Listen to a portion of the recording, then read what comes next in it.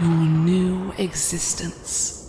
And so, Que te levantas un día fanático y no sabes si echarte una partida Blasphemous o Bloodborne. Pues aquí está la solución, The Last Fight.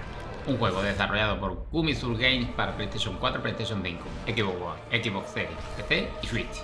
Y que enseguida vemos cómo ha quedado el cóctel. ¿Cómo estáis todos? Bien, ¿no? Me alegro un montón. Yo soy Cepiro76. Este canal es Anacritic, tu canal de videojuegos. Bueno, pues pongámonos en faena.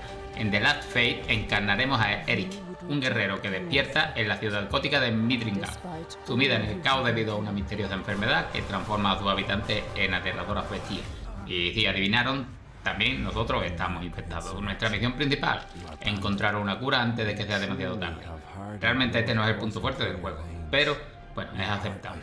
Vamos a la jugabilidad. The Last Fate nos lleva a explorar un mapa interconectado de tamaño considerable. Esto quiere decir que estamos hablando de zonas no lineales que constantemente nos invitan a explorar, descubrir secretos y enfrentarnos a diversos desafíos. Las acciones no decaen en ningún momento. Y como no podía ser de otra manera, deberemos subir de nivel, adquirir nuevas habilidades hasta enfrentarnos a los jefes en duelos realmente intensos.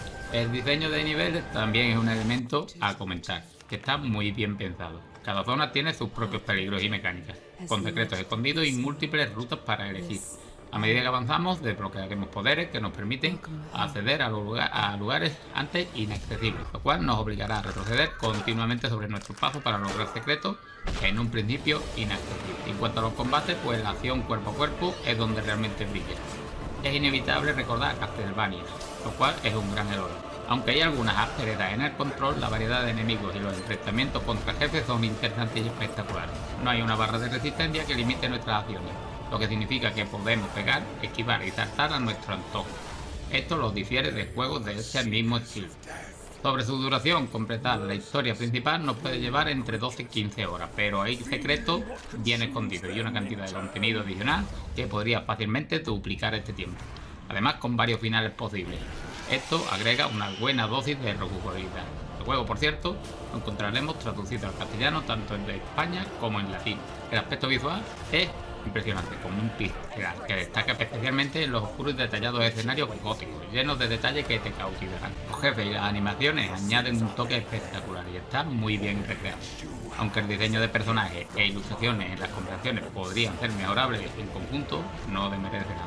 La banda sonora ambiental del juego también es destacable, aunque en momentos de exploración puede pasar desapercibida en los enfrentamientos contra jefes, la música se eleva de manera épica, aportando ese toque de emoción necesaria que hace a las batallas más intensas. Los efectos de sonido cumplen su cometido y no desentonan. Un juego aceptable que cumple su cometido, se queda un poco por detrás del todopoderoso Blasphemous, al que intenta asemejarse, y Bloodborne, pero sin duda no defraudará a los seguidores de los juegos de este estilo.